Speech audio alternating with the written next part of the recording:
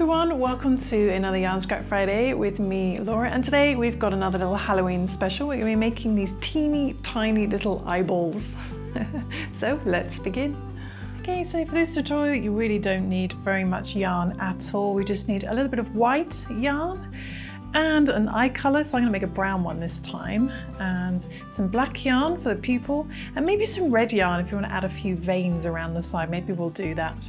And this yarn is a sport baby weight yarn, so it's a yarn weight of two, but you can use any yarn size that you like.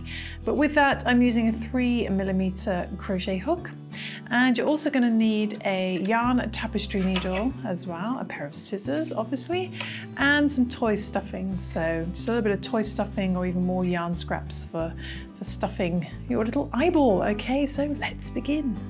Okay, so we're going to start off with our eye colour to begin with. So I'm going to take my brown yarn and work a chain four loop. You can also work a magic circle and work the same stitches into a magic circle. But we're going to do a little slip knot to begin and then chain four. So chain one, two, three, and four. Put your hook into your first chain. Bring the yarn through and straight through the loop on your hook. So you've got a little loop of chains. So either that or a magic circle is fine. Then we're going to do a little chain one for leverage and then we're going to work seven single crochet into the center of our little chain four loop. So be careful not to put it into the, the first chain. You want to find that middle hole and then just wrapping it around the chains work a single crochet. So this pattern's in US terminology, so in UK terms, that's a double crochet. And we want seven, so that's one. Go back into the center again. Work another single crochet, two, three, and seven. So when you've got seven single crochet, and I've carried that tail, so I should be able to just bring that hole in a little bit. We're going to slip stitch into our first single crochet. So two, four, six, seven, slip stitch into there.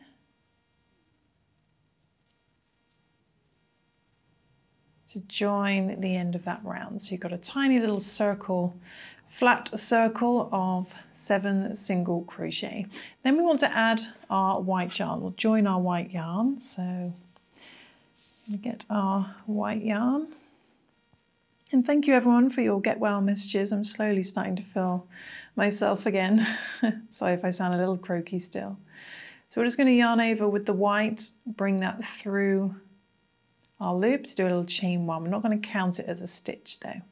And then we're going to work, starting in the same single crochet you just slip stitched into, go back into there and work two single crochet. Okay, you want two, so one and two. And then we're going to work two single crochet in each stitch around. So work two single crochet in the next stitch.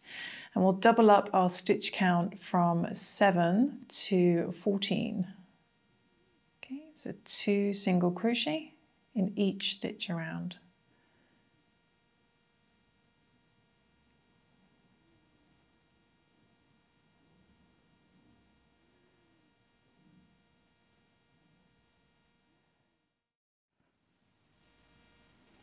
Okay, and up to the last single crochet. And it always looks like there's another stitch left. And uh, this is actually your previous slip stitch or what I call the fake stitch. So ignore that. You want to skip that and find your first single crochet and slip stitch into there. Mine's gone a little bit small. I pulled it too tightly so always be careful. I can sometimes catch you out and slip stitch into there. Okay so then moving on to the next round we're going to do a little chain one. And going back into the same stitch we just slip stitched into we're going to do one single crochet. We're going to work one single crochet in each stitch around. So keeping a stitch count of 14 and we're going to do that for three rounds okay? Three rounds So one single crochet in each stitch around, keeping a stitch count of 14 and do that for three rounds. So I shall do that and I shall come back. Okay, so just coming up to the last stitch on the third round and then we're going to slip stitch into our first single crochet to join the round and hopefully you've got something that looks like this. then what we're going to do is decrease, we're just going to do a little chain one. And we're going to single crochet two stitches together starting in the same stitch we just slip stitched into. But I'm going to do the invisible decrease. And that just makes it a little bit smoother. So instead of going under both loops I'm just going to go under the front loop only. Then go straight under the next front loop as well. Then bring the yarn under both front loops yarn over and work a single crochet. And that just creates a much smoother finish if that's new to you. And do that all the way around. So next front loop, next front loop, pull through single crochet until you've got a stitch count of seven again.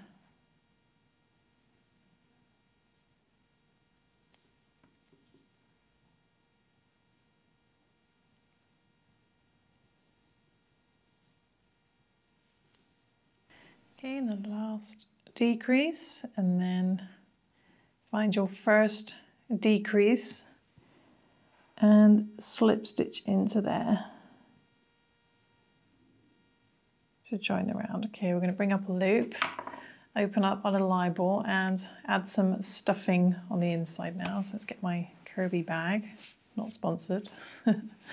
Actually got this in Japan in one of those, uh, is it Gachapon machines, I think they're called which was kind of cool.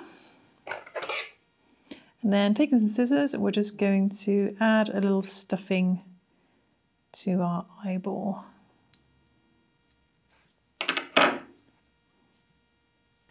So once you've finished stuffing, I actually use some blunter scissors to stuff. It's much easier than sharper scissors, a bit safer.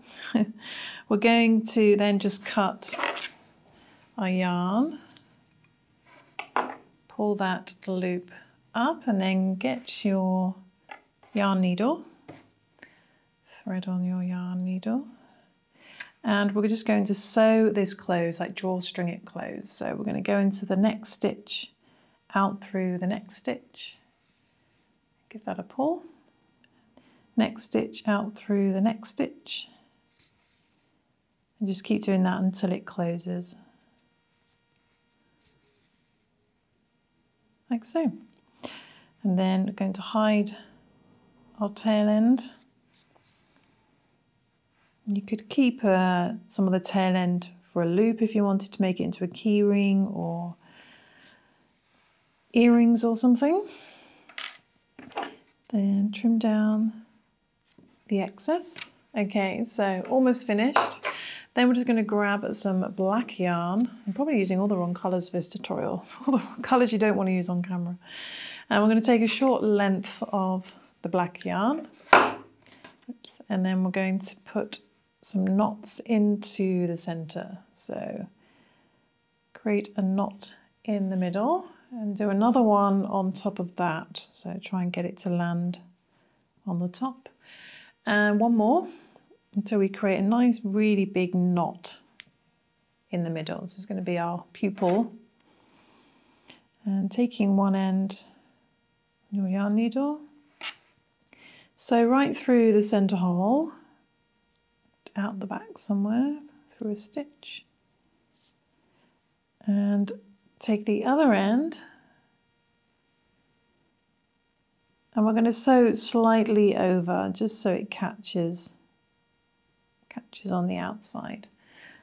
And then come through somewhere on the back. Okay and pull both ends.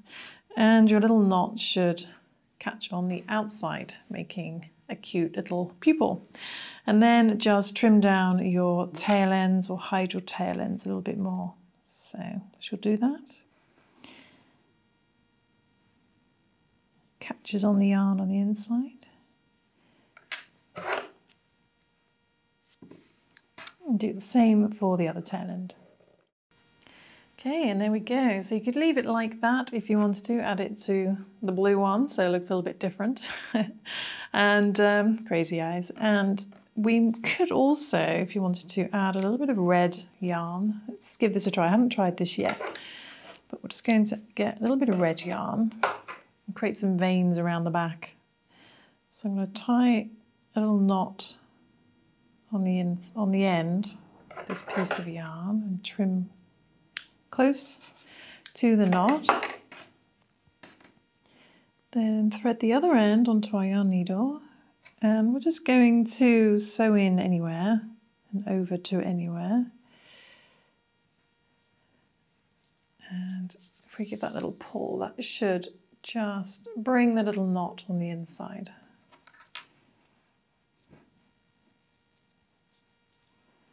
Okay, it's not going in completely.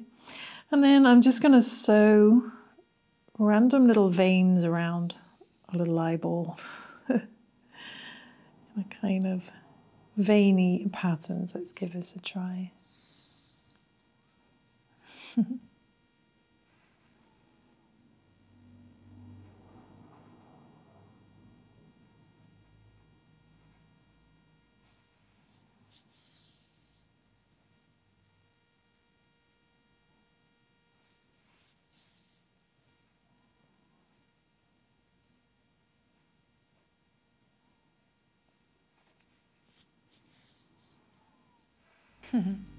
and there we go. So I've just sewn on some like little veins around the back of the eye. And there we go. We have much, much more of a bloodshot eye for Halloween. So I hope you enjoyed that tutorial. I hope you managed to follow along and maybe you can make these into key rings or even earrings. Just a fun, cute little quick Halloween project. So, and a huge thank you to my Member Plus and Patreon members for helping make these videos possible. So thank you guys. And I will see you soon for some more crochet crafting fun. Thanks for watching. Bye.